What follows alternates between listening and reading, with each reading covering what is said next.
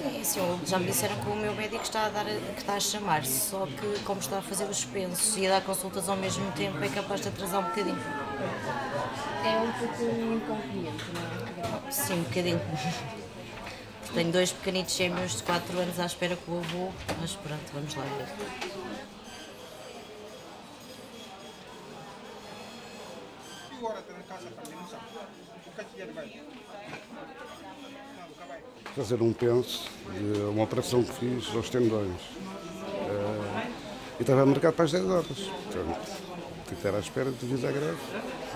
Eu acho que eles devem fazer greve. Pronto, esperar pelos direitos deles. Para nós é que é um bocado mais chato isso.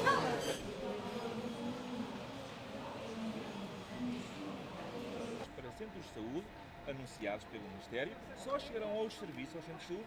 A adesão do turno da noite foi 80% e os dados do turno da manhã que estão a chegar eh, variam entre os 70% e os 80%.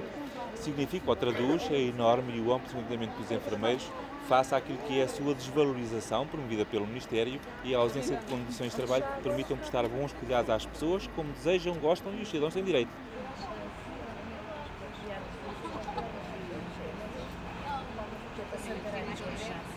porque mais enfermeiros, boas condições de trabalho, permite reduzir as infecções hospitalares em 30%, evitar mortes, reduzir as taxas de quedas e de feridas nos hospitais, diminuir o número de dias de internamento nos hospitais e nos casos primários, com mais enfermeiros e organizados por enfermeiro de família, permite evitar milhares de idas à urgência, milhares de reinternamentos e, sobretudo, permite um acompanhamento, uma melhoria da saúde